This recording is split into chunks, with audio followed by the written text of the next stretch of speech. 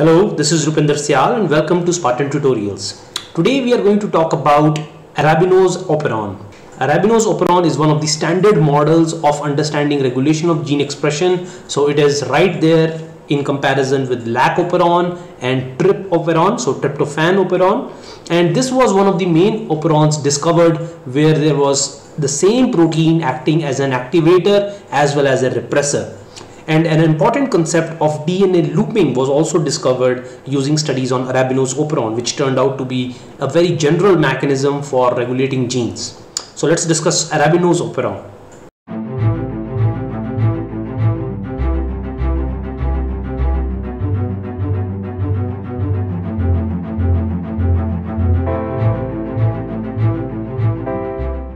Now arabinose is a pentose sugar. So it is a carbohydrate. It has 5 carbon backbone and there are multiple genes which encode proteins involved in importing arabinose into the cell as well as metabolizing it into D-xylulose 5-phosphate so it can enter the central pathways like hexose monophosphate shunt. So here we have the different proteins. So let's introduce the cast of characters first. So we have the ARA C protein. This is the activator slash repressor as we will see very soon. This is one operon, ARA B, ARA A and ARA D. This is the contiguous number of genes, three genes linked together which give rise to a polycistronic mRNA So one mRNA which contains the coding information for all the three genes. So all three proteins are produced simultaneously. ARA-C also regulates the promoters which are responsible for turning on the expression of ARA-E gene as well as ARA-F, G and H genes. These genes are located elsewhere in the bacterial genome. It's all one chromosome but still they are located far away. They are not contiguous with the ARA B, A and D genes. So the proteins encoded by ARA F, ARA G and ARA H are involved in uptake of arabinose from the outer environment. So here we have the overall general schematic.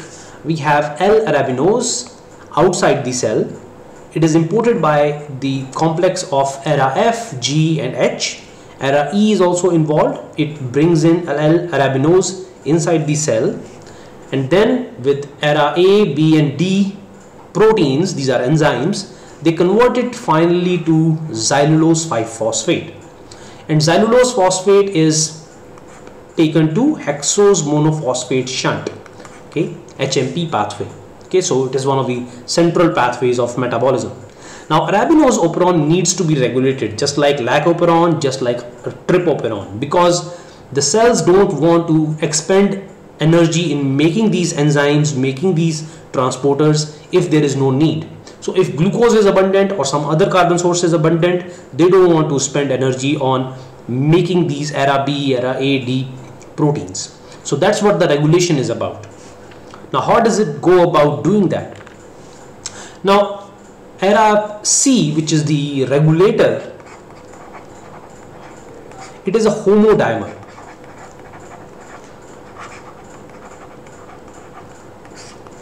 and you can see it has a C-terminal DNA binding domain and an N-terminal arabinose binding pocket as well as dimerization domain.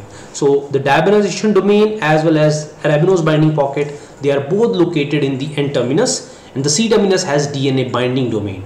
Now in absence of arabinose what happens is this ARA C protein binds to this ARA I region okay, which is just upstream of the promoter of the ARA B, A and D genes.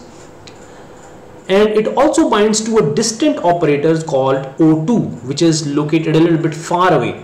And this binding by this dimer of ARA C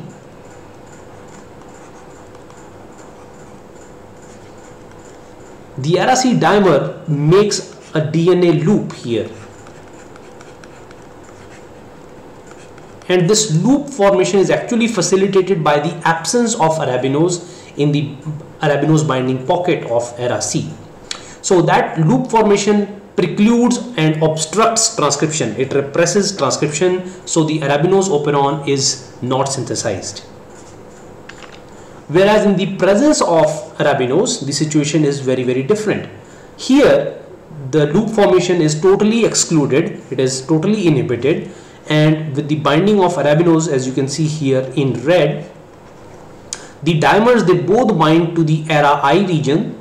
So two DNA sequences just upstream of the promoter of the ARA A, B and D genes and they help in recruitment of RNA polymerase and this starts the arabinose operon. Now I would also like to mention that just like lac-operon, it is also subject to positive regulation by catabolite activator protein which is activated by binding of cyclic AMP.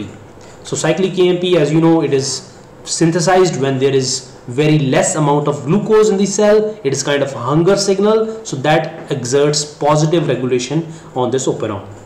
Now arabinose operon has been very useful in discovering these basic mechanisms of gene regulation and it has also found use in biotechnology and recombinant DNA technology also because ARA operon and its control elements can be used to induce genes which are toxic to the cell because we don't want even a little bit of leaky expression. One of the problems with many plasmid vectors and many cloned genes is that there is leaky expression.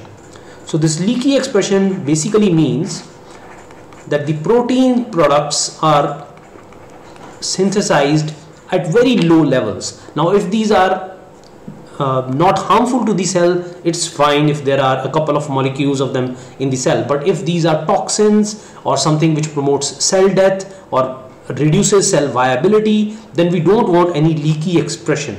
And arabinose operon is very good at very high levels of induction and very low levels of protein expression at uninduced levels. So it is very good for uh, expressing genes which are toxic to the cell. So that's my discussion of arabinose operon. I hope you found this information useful. Let me know if you have any co comments or questions about this uh, concept. If you did like the video, please give it a thumbs up. Till the next time we meet, take care and bye-bye.